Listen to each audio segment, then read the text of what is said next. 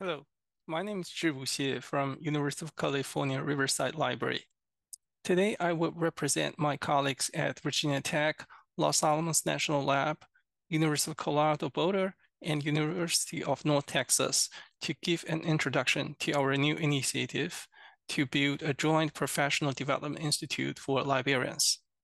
The project is funded by the Institute of Museum and Library Services through its Laura Bush 21st Century Librarian Program. IMLS has previously funded many professional development programs, both to develop critical skills and data AI and boost research capabilities. This project will leverage and complement these programs, but also has its specific emphasis. Our focus is to cultivate collaborative library scholars. So what do we mean by collaborative library scholars? We believe this is a distinct type of research librarianship that more closely aligned with the ARL 2033 vision. The vision states that by 2033, the library should have shifted from its role as a knowledge service provider to become a collaborative partner the ARL vision indeed makes it crystal clear that a regular service provider, as what we are right now, does not qualify as a partner. Otherwise, there's no need for any transformation, right? Uh, this is especially true for service providers who offer commodity services that are readily available. For example, utility companies. When was the last time we heard a Silicon Valley startup retains its utility companies to the board this doesn't mean water and electricity are not important to the business. They are, but they are relatively easy to buy from the open market than other critical and proprietary technologies or finance. So it does not make good business sense to let utility companies hold stake or even make strategic decisions for the startup.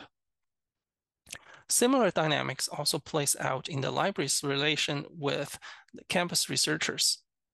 So unless we can provide something that are both unique, critical, and sought after, it is unlikely they will be treated as a serious partner on campus research and learning. On the other hand, partnership with our campus constituents cannot be gained by unilaterally claiming that we are already their partner without them knowing it, right? It must be earned through hard work and impact. In a business setting, a partnership is often signified by the formal title, for example, a partner in a law firm or a voting member on the board of directors in a corporation. Then what signals a, a library's partnership in research and teaching? Here is a non-exhaustive uh, list of possible librarian partner titles.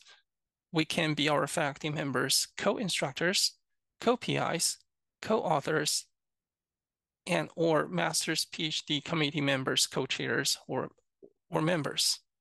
But there are times that even titles like these are not a very good indicator for partnership. For example, um, some academic disciplines regularly produce papers with tens, if not hundreds of co-authors.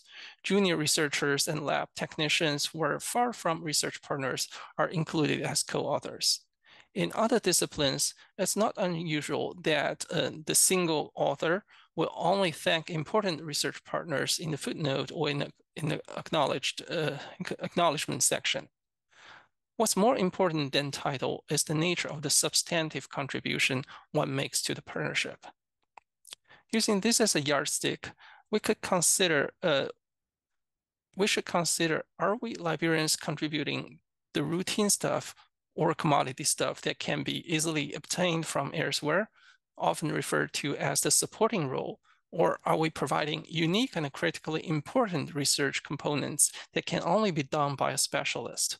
Or are we generating innovative ideas and lead our faculty partners throughout the implementation? The Joint Professional Development Institute wants to cultivate librarians who go beyond the supporting role and reach either the specialist or leader level in their research partners. Some may doubt whether this kind of research partnership is ever feasible for a library. We believe it is and have solid proofs. Indeed, many of us know a few very good librarian scholars who are extremely smart and highly productive in terms of scholarly output. Many of them are also highly collaborative.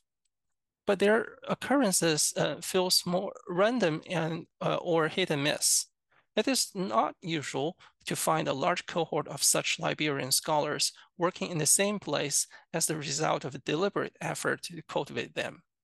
Virginia Tech Libraries turns out to be one such place with a deep research culture permeating the whole organization.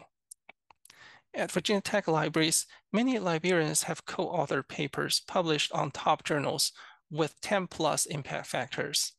They have taught independent or as co-instructors for credit-bearing core courses in various academic departments from computer science to biochemistry as full, fully qualified instructors of record.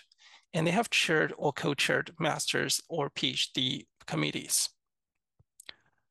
If we only use CoPI as a yardstick, for example, since 2015, Virginia Tech Library staff have submitted about 120 external funding proposals with VT faculty members requesting about $30 million from a wide range of federal, state, and private funding agencies. Two-thirds librarians have submitted at least one such proposals.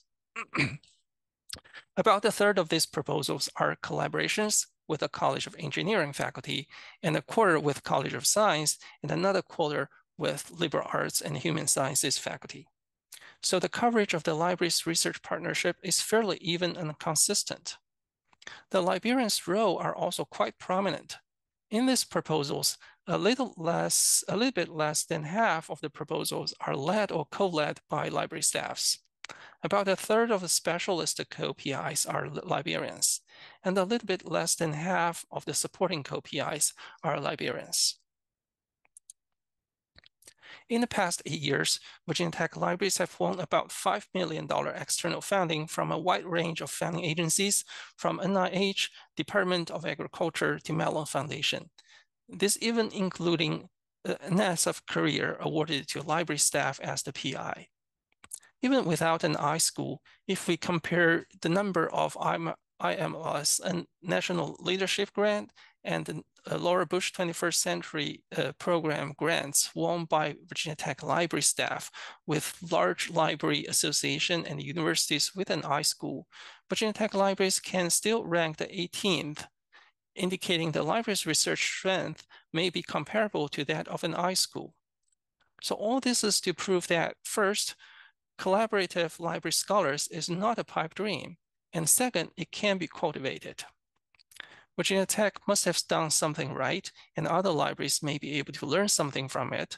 This is why we initiate this Joint Professional Development Institute, starting from four ARL member libraries. So what pain points does the project intend to address? We mainly target these five barriers. The first is the lack of research skills and knowledge to seek, manage, and effectively utilize research funding. The second is the lack of confidence in the mentorship. The third is the lack of growth opportunities and experience engaging in multidisciplinary research and scholarship. The fourth is the lack of startup funding. And the fifth is the lack of designated time release to focus on research endeavors. Unlike many prior efforts that approach the professional development from a librarian association or an iSchool program, this project emphasizes the organizational approach that the library administration needs to commit sufficient resolution and resources, and also grant their staff sufficient freedom to pursue growth in various ways. Project co-PIs include library deans, ADs and AULs to ensure the administrative buy-in and participating libraries have committed sufficient cost share to invest in their own librarians. Although initiated by four ARL member libraries, much of the Institute's uh, curriculum and educational activities are open to anyone. The practicum portion of the Institute, however, are only open to the libraries who are willing to consider making organizational accommodations to cultivate a research culture. This is indeed one distinctive feature of this program that we put a lot of emphasis on organizational changes that must be implement, implemented from top down. So the Institute is designed as open as possible. The curriculum includes three parallel levels that allows participants to join at any entry point they feel comfortable with. For new researchers, a free online 10-unit Master of Library Science level research methods course will be offered on Coursera by University of North Texas iSchool faculty for anyone to audit free of charge. We will also produce a series of online videos and discussion forums to boost research confidence through case studies. Topic include balancing service and scholarship in a library career, how individuals bridge skill gaps, research partnership with academic faculty, including both arts, humanities, social sciences, and STEM researchers. Because there are no easy answer to these workshop topics, and each success story contain unique factors and circumstances, we intend to build a comprehensive library of success stories covering diverse experience, with special emphasis on those with BIPOC and underrepresented groups. Part three of the level one activities include a series of guided workshops intended to prepare participants for competitive external grants, followed by small group mentoring. Many modules must be adapted for local circumstances and will have significant hands-on components, therefore cannot be pre-recorded and shared outside of the participating institute. The topics at this uh, stage include navigating local research administration and funding agencies, writing a grant proposal, learning from successful grant proposal, grant budget and finance, managing research project as PI co-PIs. Your local office of sponsor programs may be involved in this at this stage. The part four of level one activities include self-organized research interest group, journal clubs, and or writing groups.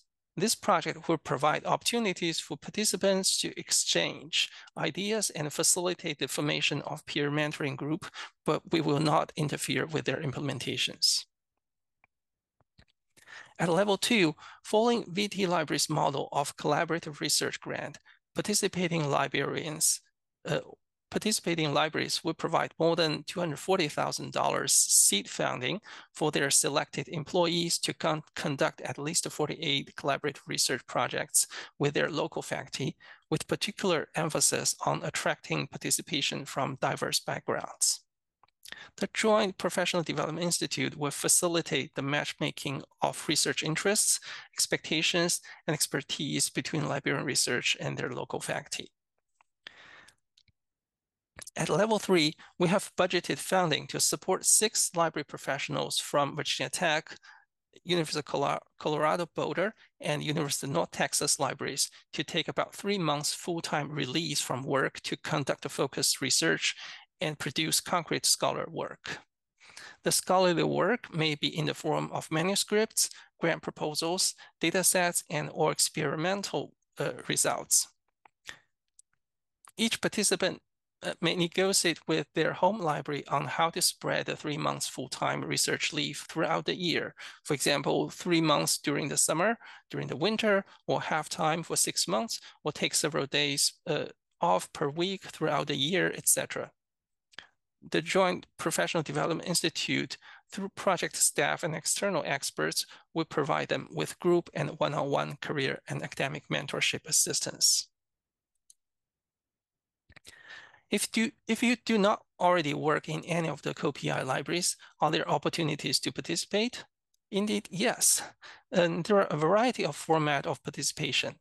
As an individual, anyone can join level 1.1, 1.2, and 1.4, which are designed as open and free events. There are no paperwork for application or selection. You learn and participate on your own terms at your own pace that suits your own work-life balance needs.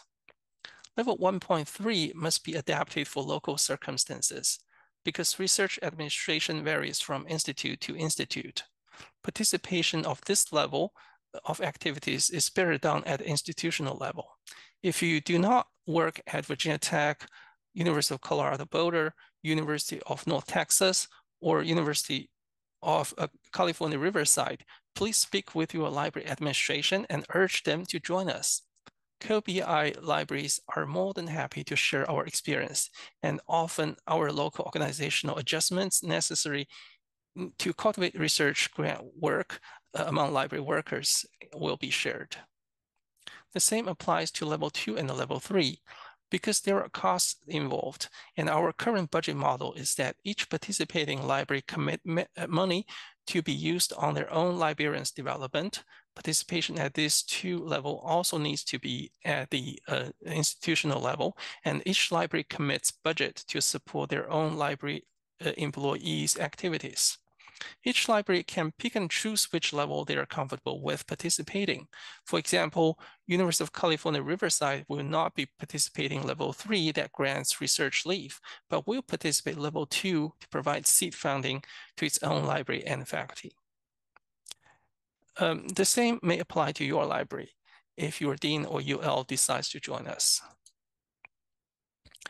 This is our current project uh, organizational structure. As you can see, it includes both library administrators, iSchool educators, and domain scholars. We welcome you and your library to join us soon. How to get uh, get in touch? Um, please visit us as at joinpdi.github.io. Thank you very much.